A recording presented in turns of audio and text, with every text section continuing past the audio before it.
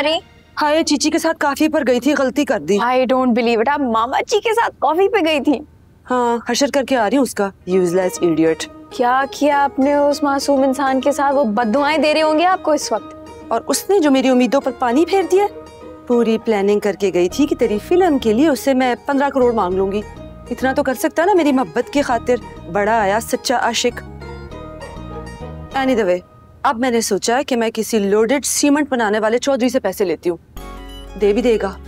तू मुझे बता माजी किधर है? अपने कमरे में होंगे आई डोंट नो क्यों? आपने उनसे भी झगड़ना है क्या?